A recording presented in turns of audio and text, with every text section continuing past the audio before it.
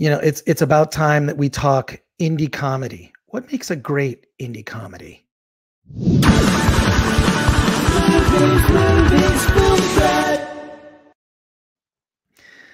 Welcome to the Film Threat Podcast. I am Chris Gore, and I am proud to have on today the writer, director, and star of Vanilla, which is currently out. You can now you can you can purchase this film. You can purchase it rented, whatever your preference is. I like to buy it. I don't know. That's just my preference. I'm building a library. Will Dennis, really excited to have you on the show. Um, Thank you for having me. This is very exciting. well, it's because I, I, love your film, and I also think that what you did too is one of the hardest things to do. Right? Like, I think that indie comedy is is very difficult because most comedy is driven by you know your Judd Apatow cast of characters. Like I don't know if that guy's funny, but I remember him from something. Right, right, right. And you you look familiar too. I feel like I have seen you in other things. Uh, I wish know. I wish I had that to really to draw on. Yeah, I'm pretty fresh to this whole the whole uh public facing community of filmmakers for comedy specifically. Um, you know, did did the improv thing, do a lot of short form stuff, but uh, this is my first like big swing. So it's nice that it's like out and people are going to be able to see it. It's, it's I'm very excited about it. Well, they should. I, first of all, uh, we could use a comedy in these times. Yeah. Right. and and what I love what you did with Vanilla is you took some of the things that we've seen in indie films like The Road Trip, and it's a completely fresh take on it. You play the lead character, who's this guy who is sort of a you could probably just t- generic white guy. That's just yeah, and that was kind of the intent behind it a little bit is to kind of kind of satirize that person. Um, you know, the progressive, like self self-appointed super progressive guy uh, who thinks he's very you know progressive and woke, but necess- hasn't really been a part of. Uh, anything that's challenged those beliefs and so it's kind of easy to kind of come across as that um, and yeah, this movie ideally is a little bit about like, oh, what happens when someone who's self professed as progressive actually has to kind of deal with something a little bit uh, harder to harder to stomach or deal with. See, I I love that aspect because it's not the movie's not preachy. I think when people hear woke, they think, "Oh no, is this a social justice film?" It's not. It it talks about those issues, but in a very human way. I think a lot of it is the lead actress. She's oh, she's great amazing. What uh, her name is Jo Firestone. Is that, that uh, Kelsea Bauman Murphy? Kelsea. Okay, okay. I got yeah, I got yeah, that wrong. Um, no, no, it's okay. Jo's also in it. Jo's also okay. Yeah, okay. I got. I'm looking. I'm looking at the list on IMDb. Um, but it, uh, but she's she Kelsea is amazing in this movie. She she really is the the the provocateur, challenging mm-hmm. everything. And I and I, almost in a way I feel like I, I don't know if this was your intent, but I, in a way, I kind of feel like she's more the male role model. Role, she's the male role in this. Yeah. In yeah. Is that uh, fair to say? Or I don't know if I thought about it as much as gender, but I definitely think that it's maybe more her story than it is my character's story. I think you kind of start with me, but she's actually the one that I think has kind of a more interesting character arc, and sh- and I might be uh, more of the manic pixie dream girl because that was something that I was kind of worried about being like, oh, I don't want her, like a female character to kind of just be a catalyst for male change. And so um, I think it's kind of the reverse in this case, where I'm kind of the one who's straight edged, and then you know, having her kind of realize what she wants. Um, uh, and and yeah, I think she does a terrific job. She's a friend of mine. Uh, we met doing stand-up comedy and open mics in New York and I kind of looped her into the project super early and said, "Hey, I have this idea for a road trip comedy that I kind of just want to make and I think it'd be a blast to make with you and are you interested?" And she said, "Yeah, let's do it." Um, so she's been she was like kind of part of the process from day one and I I think honestly like without her uh, we don't have a movie. I think she's so good at it. Well, there's there's so many great moments, and, and, and I want to answer actually the question in the subhead indie comedy vanilla? Is it actually funny? the answer to that question is yes. It is well, actually great. funny. That's I, great to hear. And I highly recommend it. There, there are all these. I feel like some of this might be plucked from real life. Some Definitely. of the things. There, there, are a couple things. The thing with the fortune cookie. Uh, that I, okay, I yeah. was continue, really continue, cute. Yeah. And then the thing at the gas station. the mm. the I don't want to give too much away, but there are these sort of like rituals that they decide to go through on this road trip that are funny and really have good payoffs. Is oh, any, that's any good that, to hear. It, any of that pluck from real life because it really felt like a non-traditional romance, which I think is what you you you look for in in in anything indie. You're not looking for like I think when you look for anything indie, you're like, don't give me the thing that I normally get at the movie theater, which is like fast food, right? I want some, right. different type of experience, and you definitely provide that. But, but was it partially from real life? Well, that's great to hear. Uh, there's definitely a lot of it that is inspired by real life. Uh, the the rough structure, it being a road trip, uh, where these two characters go to New Orleans on a very early kind of first date. Um, that kind of idea was something that I pulled from my own life an ex, a now ex girlfriend, uh, we did that same road trip very early in our relationship, and I thought it was always kind of like, um, so had some good tent poles for uh, for a potential story, and then the fortune cookie stuff. I think that was just. I forget when that came about in the writing process. I hadn't done that before in real life. I think the dancing piece, which I yeah I don't want to say too much, but the dancing piece in the gas stations. Um, I believe an, a friend of mine recommended uh, I think about that because I think that's something they they did on some road trips where they made kind of like rules for the road. Um, so yeah, it's it's kind of a blend, and honestly, it's like I think that's been one of the fun things about this story is that a lot of it was drawn from real life, and then a lot of it is manufactured, and a lot of it is through collaboration with uh, Kelsea and my friend Tom who shot the movie, and then you know going through all these drafts of the script, I was able to loop in a lot of people from my kind of uh, indie film scene here in New York, and so I feel like there's a lot of fingerprints on this thing, and it's kind of fun to be able to be like, oh yeah, what where did that idea come from? Um, but a lot of it is inspired by uh, by um, personal experiences, like the stand-up stuff, the film stuff, the the tech stuff. Um, I'm still kind of involved in the tech community here in New York as well. So, so the the tech aspect of the film, there's this sort of um, B story of you being a programmer, which I actually think, you know what, that's kind of a cool idea for an app, right? And, yeah, I mean, honestly, you know, I am looking at going existed. I, I, mean that that's an app. Like um, it's basically Uber for ice cream. Well, I mean, there's an Uber for everything, but this is kind of like, you know, just like you want ice cream, you get ice cream immediately. Yeah, so, I mean, if Ben and Jerry's is listening, like let's like like let's have them uh let's let's collaborate on this um because yeah i think that app would be a blast.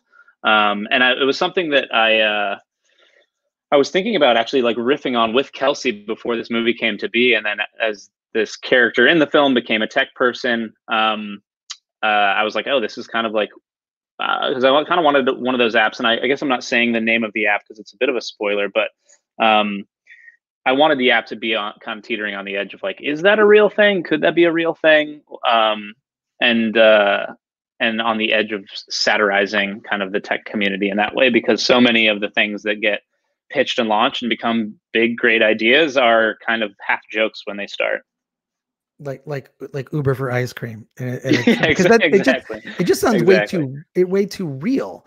But I, I I just having seen a lot of I see a lot of indie movies that come out. I think the hardest genre to crack. I think the easiest, and it's I'm not disparaging the genre is horror. I think horror mm. is kind of the easiest genre to crack, which is why you see a lot of uh, first films like um, horror I, I, drama i think you know is maybe i think the hardest one this is just from going to film festivals and seeing so many is, is comedy mm. i think it's mm. a combination of you got to have that great script you got to have that like the cast and the sort of how do you make those how do you make all those things align and then what what what, what makes you think okay i'm just gonna make this now with whatever money i have um, yeah I, I just i feel like a lot of the studio level comedies their crutch is casting right? Mm-hmm. We're mm-hmm. just going to get all these people, they'll riff on lines, and then we'll do it 50 different ways. Then we'll just use the best line. This was a right. very, obviously, this is very, I mean, there were clearly some improvised moments, but there it's very well scripted. There's a mm-hmm. solid mm-hmm. script. How did did you go in with any sort of fear or maybe maybe it's good that you I didn't you didn't hear this from me before that comedy i think is the most difficult genre to crack on an indie level i just i just think it is because there are no yeah. it's all performance and script it's just yeah yeah I mean, I think honestly, I'm I'm glad we didn't have this talk then. I think I think a little bit of it was ignorance is bliss. Um, I gravitate towards writing comedy, watching comedy, trying to make people laugh, trying to make things that are funny.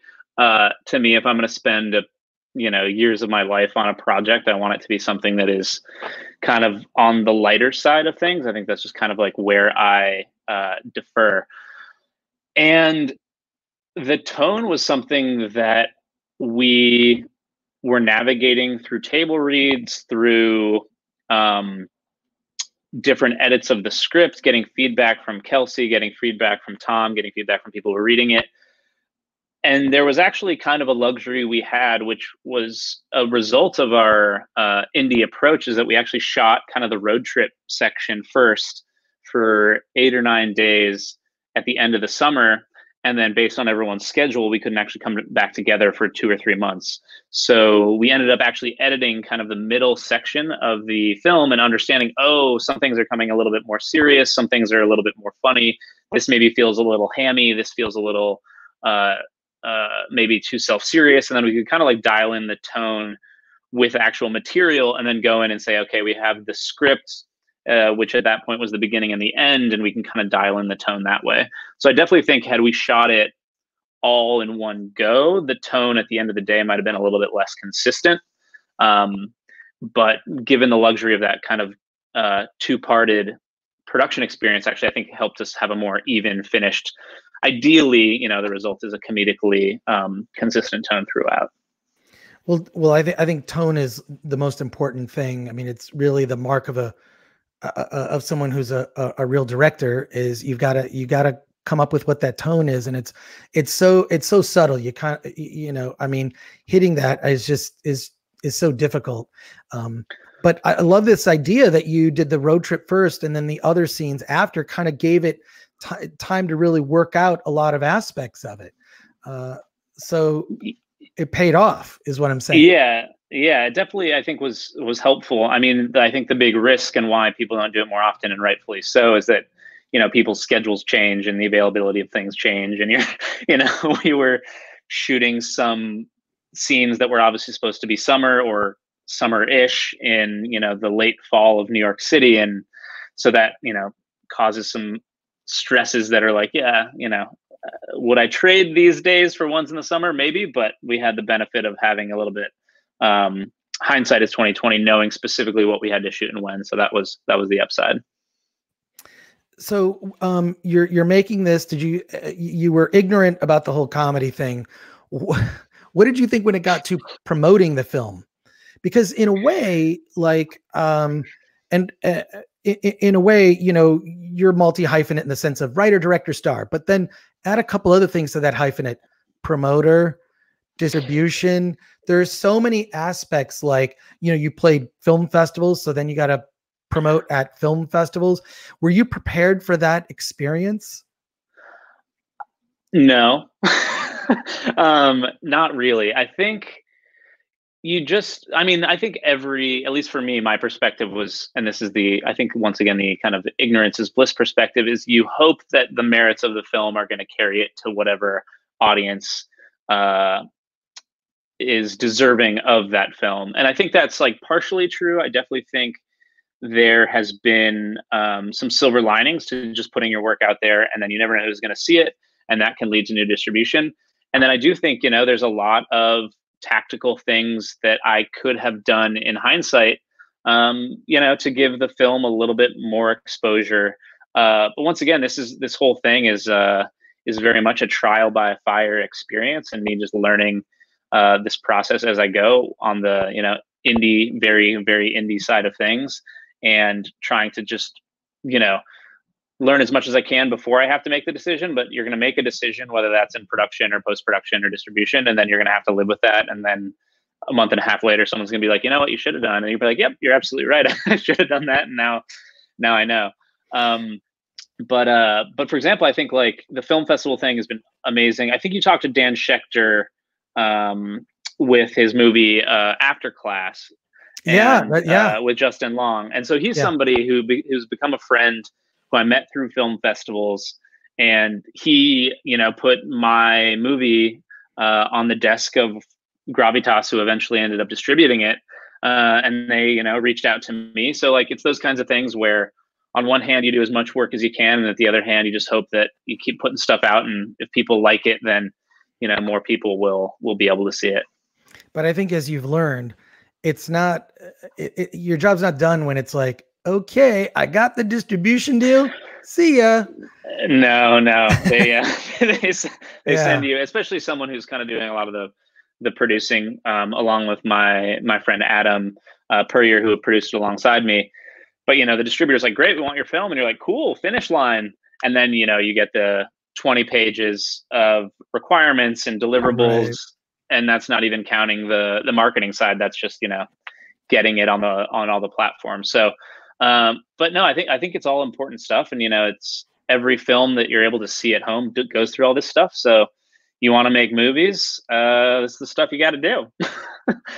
It's weird today how like you, you don't just have to be good at filmmaking.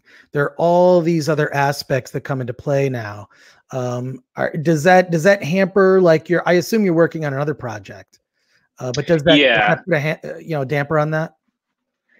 Um, I think it just makes you really understand the prioritization of what you have kind of in the works. I mean, I have, you know, another script that I'm working on.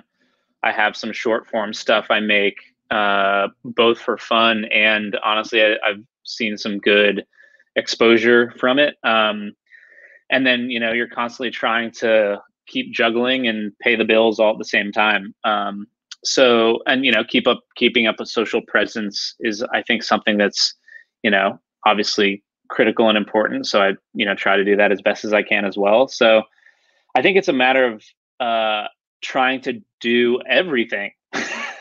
But at the end of the day i, I try to come back to this um idea that the quality of the material and the quality of the script and the quality of the writing and the quality of performances are at the end of the day what's going to make you sink or float. Um, so that's kind of the the solace, and I think it's really easy to get kind of tied into like, oh, you got to be tweeting on Instagram, and I think you do, but all that stuff only matters. I think if the end product is something that people enjoy watching. So I, I try to come back to that, and that helps me kind of uh, stay sane a little bit. I mean, i- i- social media is like a whole other job in addition to all of totally. this. It's totally. uh, you know, it's and I think a- there's like a lot of there's a lot of people who are like, you know, do the indie distribution thing. Don't work with a distributor. Go your own route. Put it on platforms. Do all the marketing yourself. And it's like, yes, you definitely can, but you're not. Uh, you know, you're essentially doing the the job of several full time people in order to do that. So uh, there's cost savings uh, in that way, and maybe there's you know some creative upside there, but uh, it's definitely a trade off. Um, and uh, and I think with a movie like this, I, I kind of wanted a team uh, behind it a little bit to to help me kind of get it out there. Well, so um, now that you're removed from the experience of making it, you've now seen it with real audiences who've enjoyed Yeah. it. Um, you know what? What are the what are the takeaways? Um, what what what have you learned from this that you'll bring into the next project? Um, uh, tell us like tell us how to make a great indie comedy because I, I can just tell you from the the indie films I've seen, it's the hardest genre to get right. It really is. It's the most difficult. A lot, a lot of people, and I yeah, a lot of people I think really their indie yeah, films are funny. that. They're not. They're not that funny. I'm telling you, Vanilla is funny. Vanilla is something. Thank you, and, thank and you. Also, fresh talent too. That like um yourself. I you know like I, I like watching. I'm like I must have seen you before. Was it a stand up special or something? You have kind of you know that that look. But um but what are, what are your takeaways? Thank you. Um, and I'm going to quote you on the fact that you said it's funny. I'm going to use that. Um, uh, I think I kind of mentioned it, but I think it comes down to the the writing, and I think it comes down to the performances. And like as the writer and director and performer, I'm sure you're like this guy's a monster. But having said all that, I don't think I'm going to be acting as much in my future work. I think there are people that um, I'd love to work with. Uh, and the writing process, I think of one is me being kind of the steward for the story, but uh, I think what I did relatively well with vanilla is really exposed it to a lot of different people and a lot of different eyeballs and got a lot of feedback and went through tons of revisions that weren't just myself in a room but uh, getting different feedback from from different folks. So i definitely want to do that again and just know that you know every note as critical as it is is going to make the movie a little bit better or uh you know you you get a review from a film and it's pointing out some imperfections like those imperfections you can you can ideally tackle at the script phase and then uh just being you know nice and respectful of everyone on on set and uh and really understanding that the best idea might come from a moment that uh you didn't plan. And so i think still being open to that um in in future projects. Having said that there was a lot out of our control in vanilla so i would love to have a little bit more control. But just understanding so that some of that serendipity um, and some of the laughs in vanilla honestly were things that were not on the page and were not uh, even improvised. They were kind of things we ended up like you know grabbing or off the cuff thinking that the cameras were done. And then those you know make it into the movie add a bit of characterization get a laugh. So um, continuing to balance that hyper rigorous writing process and the then throwing that out the door when the cameras start rolling. Um, and uh, yeah, I mean, writing and directing, or the directing and the acting piece was pretty tough. So uh, I definitely, for my next project, I would be excited to just focus on the directing and, and see what that experience would be like as well. Are you going to be working with Kelsea again? I feel like she's like yourself, I, am I, I, I, you know, I feel like I've seen her, but perhaps I haven't, you know? Um, yeah, she's, I mean, honestly, we both were just interested and excited about making a movie. And, uh, and I thought she was so funny and, you know, in person, charming and charismatic. And uh, I'd love to see her do more stuff. I'd love to work with her again um, you know, it's it was a long, hard process for both of us, just because you know that's the, what making a movie is. But I think she's so good, and I think she carries the movies in such strong ways that uh, if you know she continues to act, I hope she she does an awesome, awesome job. I know right now she's doing a lot more on the production side of things, but uh, I think she's so so talented. So I hope to see uh, more with her in it because I think she can go go far.